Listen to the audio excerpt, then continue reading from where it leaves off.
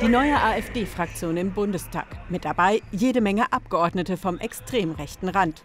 Ein suspendierter Bundeswehrsoldat, der vom Verfassungsschutz beobachtet wird. Ein Mann, der menschenverachtende Videospiele finanziert. Und eine Frau mit besten Verbindungen in die rechtsextreme Szene. Wir wollten wissen, wie rechtsextrem ist die neue AfD-Fraktion im Bundestag?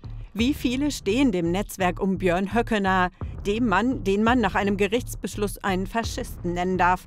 Und welche Rolle spielt sein Weg künftig für die gesamte AfD? Letzte Woche im Bundestag. Die Mitglieder der alten und neuen AfD-Fraktion finden sich zum Gruppenbild zusammen. Aber kaum sind die Bilder gemacht, ist es mit der Harmonie schon wieder vorbei und der Erste muss gehen.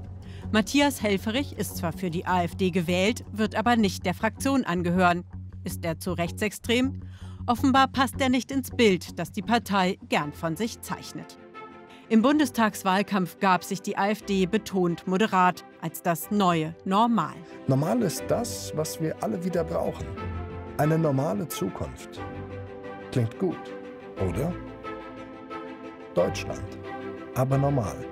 Wir vertreten die konservativ-bürgerliche Mehrheiten in diesem Land. Wir wollen auch die Mittelschicht natürlich vertreten, diejenigen, die arbeiten gehen.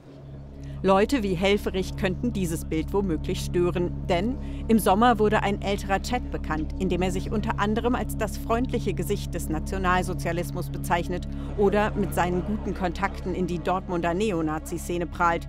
Sie werden wohl, falls die NPD in Dortmund nicht antritt, dazu aufrufen, mich zu wählen. Helferich tritt auch gerne mal mit Kornblume im Revers auf. In internen Chats bezeichnet er sie als das geheime Symbol der Nationalsozialisten während des Verbots in Österreich. Matthias Helferich wird trotzdem nicht ganz aussortiert. Nur vorerst soll er nicht Teil der Fraktion sein.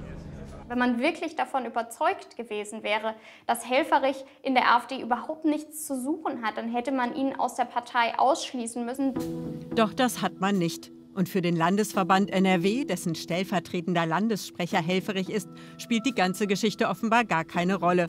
Landessprecher Rüdiger Lukassen schreibt in einem Brief an die Mitglieder der NRW-AfD: Wir konnten immerhin zwölf Mandatsträger nach Berlin entsenden. Kein Wort davon, dass Helferich nicht Teil der Fraktion sein wird. In der Partei bleibt er weiterhin wichtig. Das belegt auch eine E-Mail von Lukassen, die Monitor vorliegt. Bevor der Landessprecher den Mitgliederbrief absendet, schickt er ihn seinem Vertrauten Matthias Helferich und schreibt: Ich bitte dich um Prüfung. Gruß Rüdiger. Der Vorgang zeigt, dass Herr Helferich trotz der äußerlichen äh, Distanzierung innerlich integriert ist, dass er Teil des Maschinenraums der AfD in Nordrhein-Westfalen nach wie vor ist und auch als solcher verstanden wird als Repräsentant im Deutschen Bundestag. Das ist keine Distanzierung oder ähm, keine glaubwürdige Distanzierung, sondern äh, schlicht und einfach eine Feigenblattpolitik. Matthias Helferich weist die Vorwürfe auf Monitoranfrage zurück. Lukassen äußert sich nicht. Einer wurde vorerst aussortiert, viele andere bleiben. Wir haben uns einige Abgeordnete der AfD mal genauer angeschaut. Zum Beispiel Hannes Gnauk. Der Bundeswehrsoldat vom Dienst suspendiert. Der militärische Abschirmdienst hat ihm die Sicherheitsstufe Rot gegeben, das heißt Einstufung als Extremist. Gnauk präsentiert sich gerne mal mit Björn Höcke oder bei dem rechtsextremen und vom Verfassungsschutz beobachteten Forum 1% ein Extremist als Volksvertreter. Auch neu im Bundestag Christina Baum. Sie steht der identitären Bewegung nahe, die vom Verfassungsschutz als rechtsextremer Verdachtsfall eingestuft ist. Auf der Veranstaltung einer rechtsextremen Zeitschrift machte sie ihre Haltung zum Thema Migration deutlich. Und ob wir diese Wahrheit als Bevölkerungsaustausch, Umvolkung oder als schleichenden Genozid am deutschen Volk durch die Einwanderungspolitik der Grünen bezeichnen, das lassen wir uns weder von den Altparteien noch von der Presse und auch nicht vom Verfassungsschutz vorschreiben. Christina Baum ist die süddeutsche Stimme des rechtsextremen Flügels der AfD. Und sie ist auch ein gutes Beispiel dafür, dass die Abgeordneten, die jetzt in den Bundestag eingezogen sind für die AfD und eindeutig als radikal oder sogar extrem rechts einzuordnen sind, nicht nur aus Ostdeutschland kommen, sondern die kommen aus Baden-Württemberg, die kommen aus Nordrhein-Westfalen und auch aus Schleswig-Holstein. Das ist nicht ein rein ostdeutsches Phänomen. Und dann Roger Beckamp bislang für die AfD im Landtag NRW. Er finanziert die Entwicklung rechtsextremer Videospiele. So unterstützt er mit 6000 Euro Spieleentwickler, die für Videospiele wie dieses stehen. Heimatdefender schießen sogenannte Globo-Homos ab, die Angela Merkel, Heiko Maas und Jan Böhmermann ähnlich sehen. Im aktuellen Verfassungsschutzbericht heißt es, das Spiel transportiere unter anderem antisemitische Inhalte. Oder Matthias Moosdorf. 2019 zeigt er sich auf einer Veranstaltung der nach dem Nazi-Wegbereiter benannten Oswald Spengler Stiftung. Neben ihm Götz Kubitschek. Dessen Institut für Staatspolitik wurde vom Verfassungsschutz in Sachsen-Anhalt gerade als rechtsextrem eingestuft.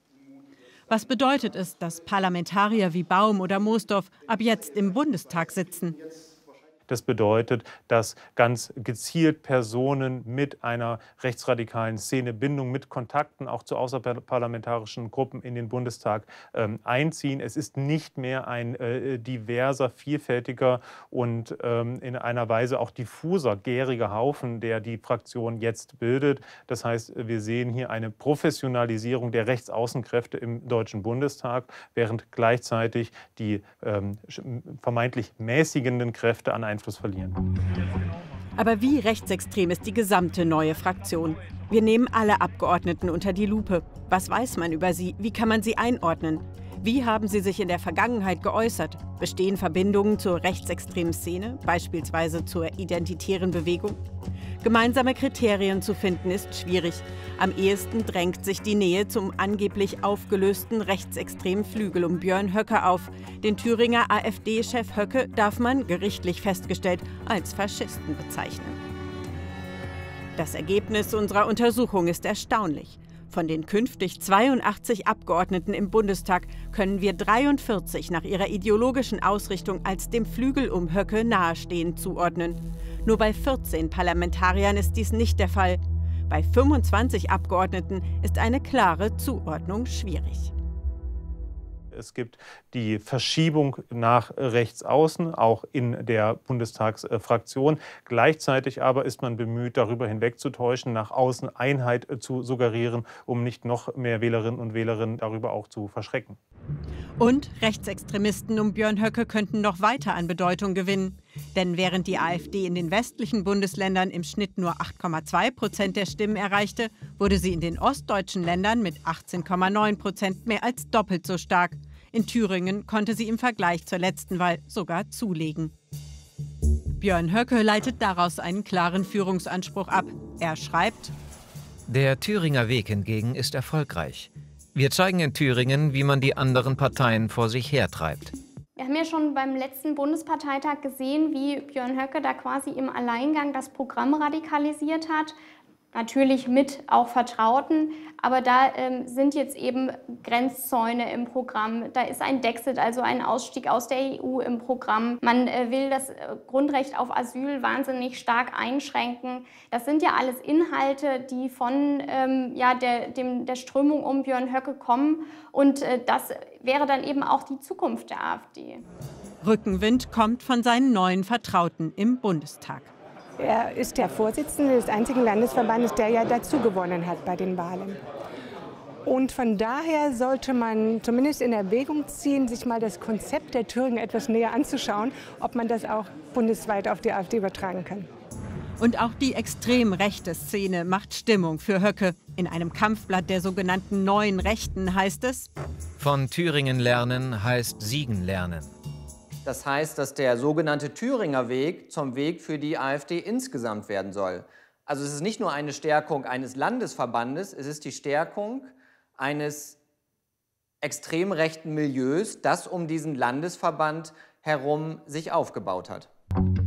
Ob Höcke und sein Lager sich durchsetzen, könnte sich schon bald zeigen. Denn im Dezember wählt die AfD eine neue Parteispitze und mit ihr wohl auch ihre künftige Ausrichtung. Der eher gemäßigt auftretende Parteisprecher Jörg Meuthen hat jedenfalls schon mal seinen Rückzug angekündigt.